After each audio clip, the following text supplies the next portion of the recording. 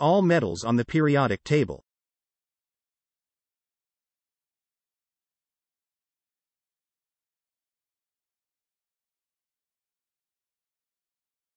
Welcome to Science A Plus Global. Matter is composed of pure and non-pure substances. Pure substances are found as elements and compounds. All elements that are found on the Earth are mentioned in the periodic table. Out of these elements, metals are substances with specific features. The metals in the periodic table can be categorized into several groups based on their chemical properties. They are alkali metals, alkaline earth metals, transition metals, post-transition metals, lanthanides, and actinides.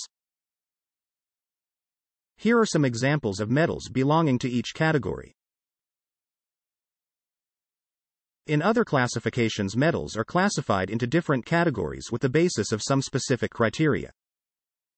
Such as, their magnetic behavior, brittleness, refraction ability, color, density, conductivity, reactivity, etc. All these metals can be found in the periodic table from the left side to the middle and they are marked with a specific coloration. Furthermore, there are two separate rows below the main table that contains metals. All the metals on the periodic table are shown in the following chart with their symbolic name and atomic number.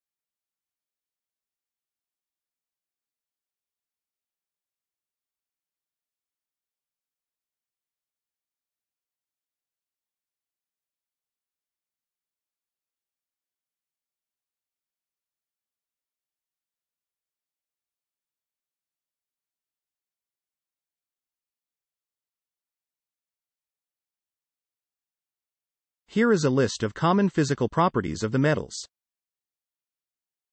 Lustrous nature. Shiny. Produce sonorous sound, ringing sound.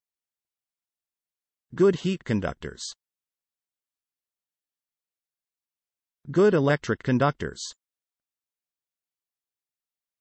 Solids at room temperature, except mercury.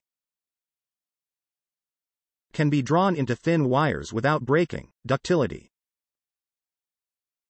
can be hammered into thin sheets without breaking, malleability. Common chemical properties of metals. Ability to form cations by losing electrons. Show relatively low electronegativity. Having low ionization energy. Metal oxides are basic oxides. Metal oxides form basic solutions with water. Thank you for watching. Visit www.scienceaplus.com for more science related content.